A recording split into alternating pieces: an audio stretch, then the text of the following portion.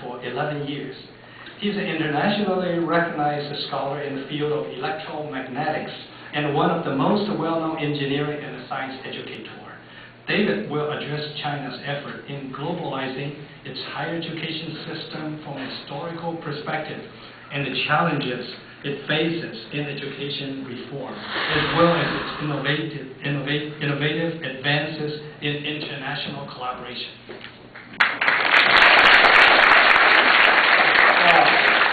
I want to a few seconds, uh, since uh, we're giving the mandate to finish uh, our remark in five minutes. I have to tell you that uh, when we first talked, Cameron and I, we were talking for three minutes, but he knew that uh, he couldn't quite hold all these professors uh, uh, not talking. But he did know that he need to refrain uh, Kai Fu Lee.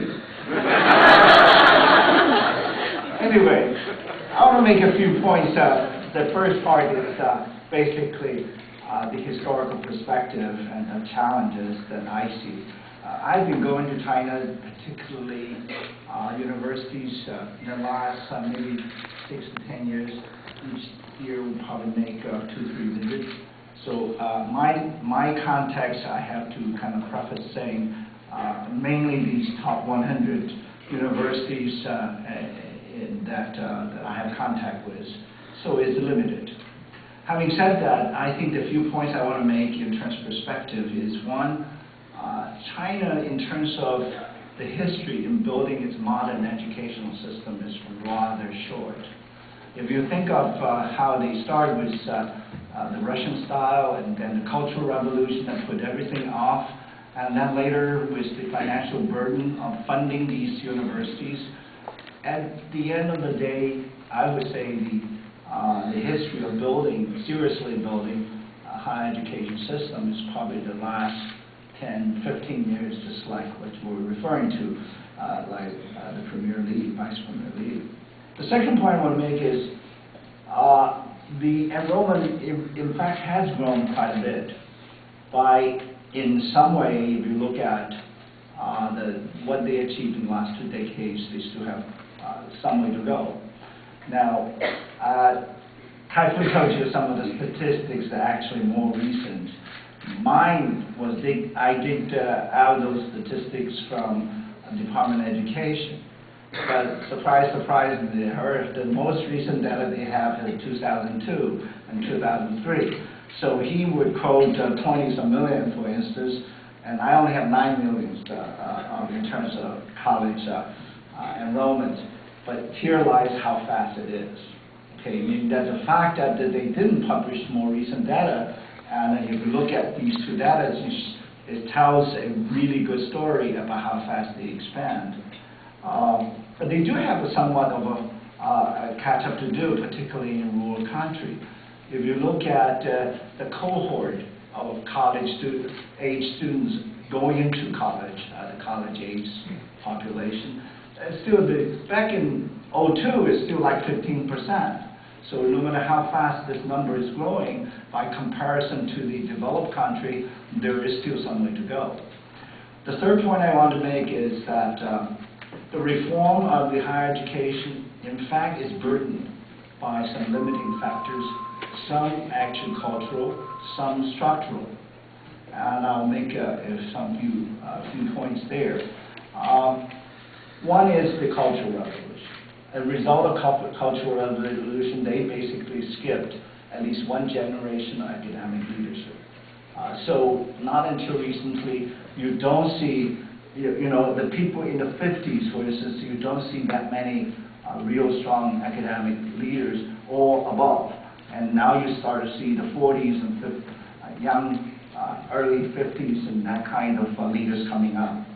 Uh, the second point is the university financing, I find this uh, intriguing in that uh, as, as much as they have improved the, the, the, support of universities, China universities feel presidents are harder, their jobs are harder than ours in that there is still this mindset of cradle, cradle to grave, that you need to take care of me uh, and my father and my kids. And the, there, uh, the retired faculty and staff is actually creating a big burden for many universities that, that I know.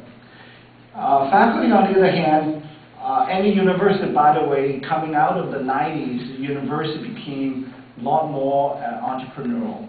But as a result of that, often you wonder why are they doing things that are not really germane to their core mission.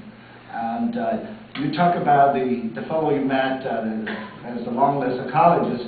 I met one school in uh, Sichuan, I should, should rename this, that actually started, a, a public school apparently can start in conjunction with private capitals, can start independent colleges. This one state university has over 20 uh, private colleges under. So that's, uh, the university has to run into some of these burdens. Uh, faculties are very, almost uh, overly entrepreneurial. They do have uh, outside incomes. And in fact, Professor Cho probably could come comment. Uh, or actually, really Yao is uh, the English translations. Uh, uh, Yao is telling me that, in fact, it's confirmed. Faculty can take more than 100% uh, salary, you could get to two jobs uh, if you need to, a two full-time job if you want to. So there are some things like that. Uh, the ministry and, and government in general, they really do encourage innovation and reform, in my mind, uh, but they sometimes have harder time to manage it. Uh, I can give you examples later. Uh, I'll skip the examples until we get to the, the Q&A. But they, there's some really uh, very, uh, uh, I would say, revolutionary concepts are being introduced. Not lesser is the allowance of private colleges, uh, but still, there, there, are a lot of uh, problems in terms of management.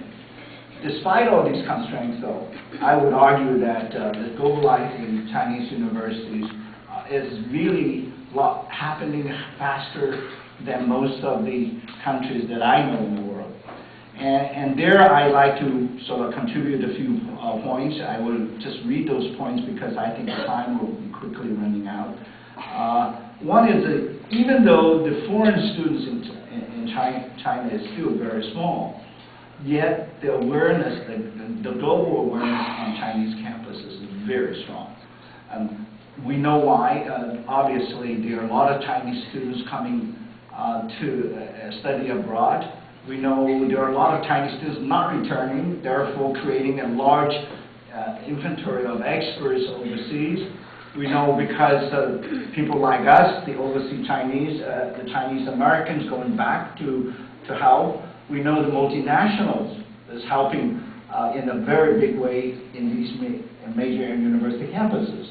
Uh, back again, the statistic in 2003 is $300 million US a year if you aggregate all the university, uh, the, the support the university gets from the, the, the multinationals. But I suspect the number is much bigger. Uh, so there are on and on the reasons why they are actually in good shape. Uh, now let's get into sort of what are the new models that I see in the last few years. And this almost like their statistics. Every you go there, you find a new model, yet another new innovative thing. So it is actually quite, quite uh, exciting there. Uh, on the academic side, let me uh, and draw some of the research side because I know Professor Yao may have one more to say on the research side. Uh, uh, on the academic side, uh, I would say, argue that there are practically hundreds of the so-called 2 plus 2 the two plus two is that they educate the students for two years, and then the students would be transferred uh, to some uh, university overseas. Uh, and Canada, for instance, just one uh, university I know in Sichuan actually uh, has a consortium of 10 Canadian universities that have this agreement to send the students out after two years transfer to Canadian universities. A little more innovative and less, therefore, somewhat rare is the so-called one-two-one program, where the students, on the regular students spend their second year and third year in the four-year bachelor degree. Uh, I, am getting there. Uh, that uh, that uh, sending the bachelor degree overseas for two years, but they have to go back there the last year in order to get two degrees. And you'll find the dual degree programs not only at bachelor degree level, but also at master level, master degree level, one plus one